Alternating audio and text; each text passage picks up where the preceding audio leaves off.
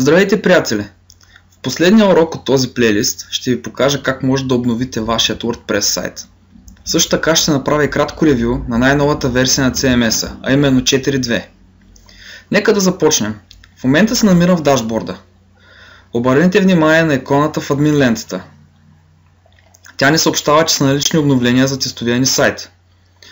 Също така виждаме, че излязла и новата версия на WordPress и WordPress ни подканва да я обновим. Обновенията са налични и в секцията Updates в дашборда, като виждаме, че имаме обновление и за един от плагините, който имаме инсталиране. Кликвайки на въпросната икона по-горе, която винаги ще бъде видима в админ лентата, ние падаме точно в секцията за обновления.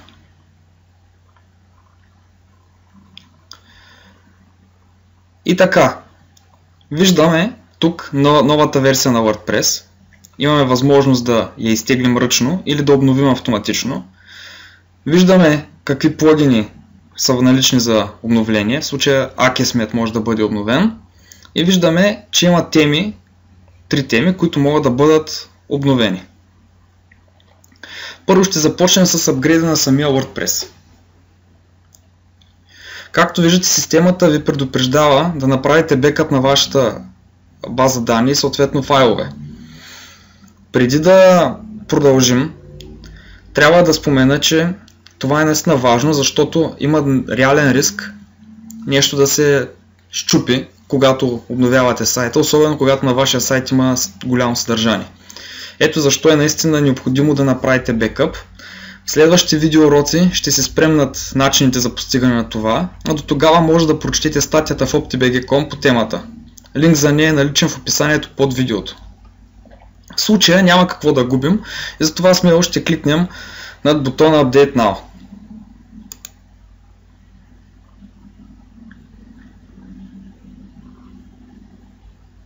Виждаме, че системата зарежда. В момента изтегля най-новата версия на WordPress. Разапакова се zip файла с апдейта. Проверява се дали всичко е коректно. В момента системата се подготвя за инсталацията. Стартира се така наречения Maintenance Mode, в който сайтът не е наличен за посещения. В момента се копират необходимите файлове. Обновява се базата данни. WordPress е обновен автоматично и успешно. И след малко ще бъдем пренасочени към страницата, която ни представя новите подобрения в WordPress. Съответно тук има едно видео, което виждате. То представя в детайли WordPress. Съответно в момента аз ще направя едно ревю подобие на това видео, но ще ви покажа нещата вече как се случват на нашия тестови сайт. И така, нека да продължим. Вече имаме най-новата версия на WordPress 4.2.1. Сега трябва да видим какво е новото.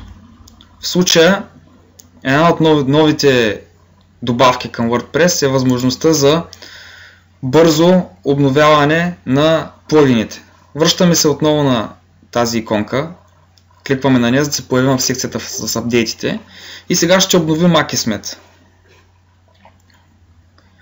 Мога да го направя от тук, но същевременно, за да ви покажа нововведенията, ще отида на Installed Plugins. Виждате, че и тук имам допълнително уведомление, че е излязла нова версия, както и тук горе също имам обновле... а, информация за обновлението. Ще кликна на Update Now и виждате, че нещата се апдейтват директно, без да напускаме менеджера, без да губим фокус от различни екрани, които се появяват и вече сме готови. Бързо и лесно. Това е една от новите, а, една от новите функции на WordPress 4.2.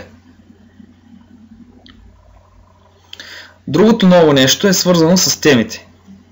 Но преди това, нека да ги обновим и тях, защото в страницата за апдейти видяхме, че имаме нови теми. Избирам всички, кликам на Update Teams.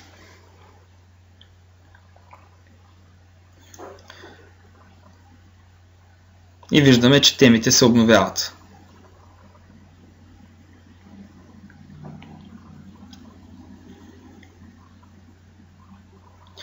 С това към настоящия момент тестовия ни сайт е с възможно най-новите теми и най-новите плагини.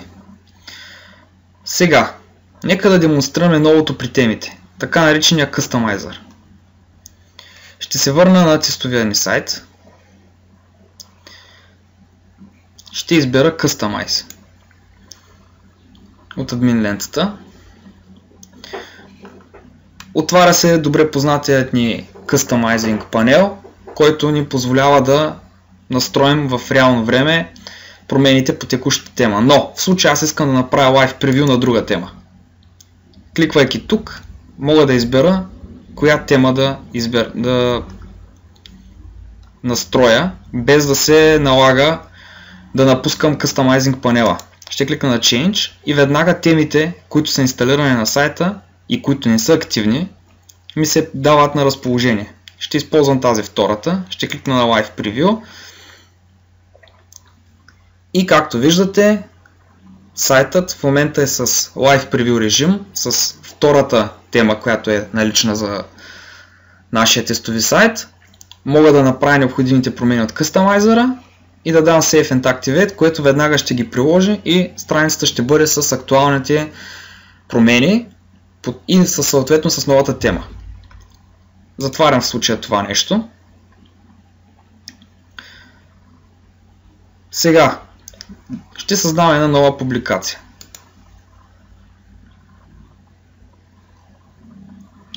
В тази публикация ще напиша една емотиконка, едно смайле и ще дам превю. Виждате как изглежда смайлето. Това е така, защото WordPress 4.2 поддържа еможи технологията, която позволява да имаме красиви емотиконки в нашето съдържание. Това е едно от новостите също така. В случая затварям това превю, защото не съм приключил работата. Нека да оставим можето. Сега, новото в WordPress е, че в визуалния редактор можете да вмъквате съдържание, което ви позволява директно да го редактирате. Съдържание от външни източници. До момента беше невъзможно това нещо да се случи само с YouTube. И нека да вмъкнем ето това видео, което а, представя 10 забележителни факти за България. Само единствено трябва да копираме URL-а. Нищо друго. Пействаме URL-а и виждаме видеото в визуалния редактор. Съответно, ако преценим, можем да го напаснем къде да бъде разположено. Нека сега да вмъкнем една кампания от Kickstarter. Kickstarter е сайт за набиране на средства за иновативни проекти, като Half-Bike 2, който е разработен от българи. В случай съм отворил страницата на Half-Bike 2 в Kickstarter. Единственото, което трябва да направя е отново да копирам адреса. И когато го пейсна, виждам, че кампанията ето, виждам, че кампанията е налична в визуалния редактор на WordPress и аз мога да си поиграя с нея нейното разположение. Нека сега да поставя линк към един от моите твитове. В случая ще бъде ето този. Копирам го и го поставям. И виждате, че дори и твитът се появява директно в визуалния редактор и можете да управлявате неговото местоположение. Нека също нека го поставим наново. Да, виждате, че дори твитът е наличен в визуалния редактор.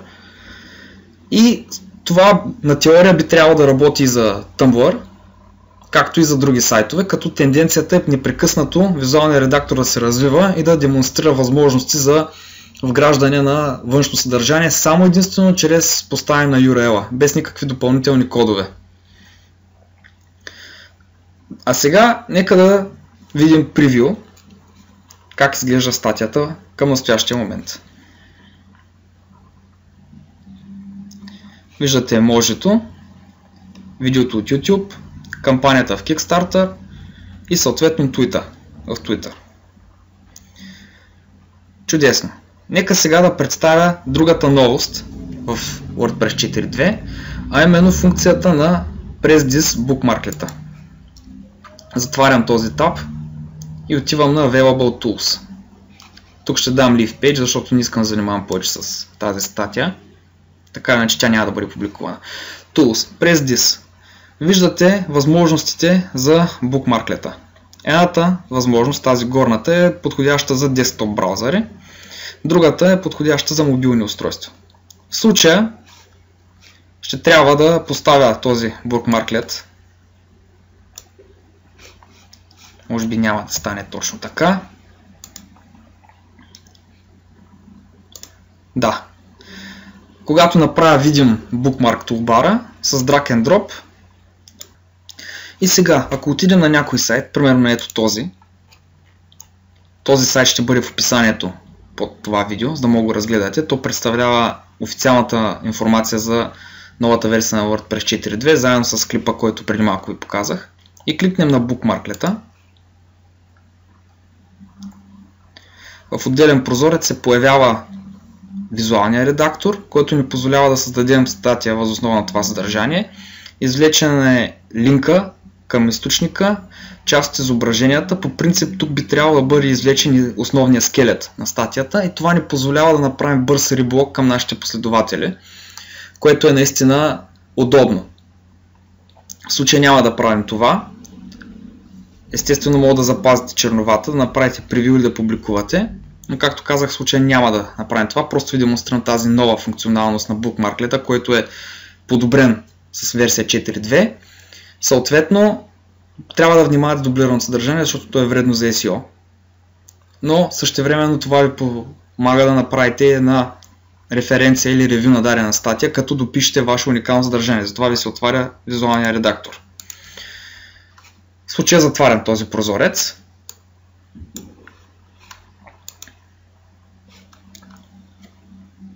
Другото, което е ново WordPress 4.2 е свързан с по-добрата поддръжка за китайски, японски и корейски иероглифи, както и музикални и математически символи. По разбираеми причини няма как да ви демонстрирам тази функционалност, но ако проявявате любопитство, също можете да видите как се случва това на практика в видеото в описанието. Или по-точно в ето тази страница.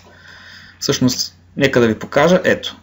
Виждате, че независимо на какво устройство се гледат, иероглифите и символите се изписват по много хубав, красив начин и съответно потребителите от тези региони ще могат да четат безпроблемно, без да се притесняват.